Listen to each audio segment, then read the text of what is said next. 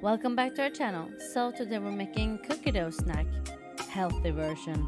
So you start off by mixing 85 grams of oats, then 45 grams of flour. Mix them well. Then you add in 125 grams of peanut butter.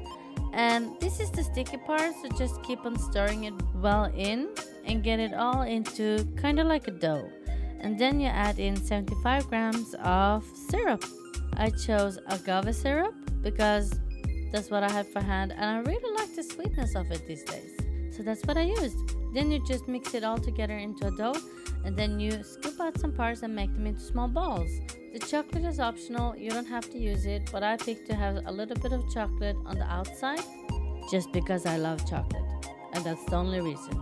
And this actually turned out quite well. Give the recipe a try, give us a feedback. Thank you so much for watching, and we'll see you in a new video tomorrow. Bye!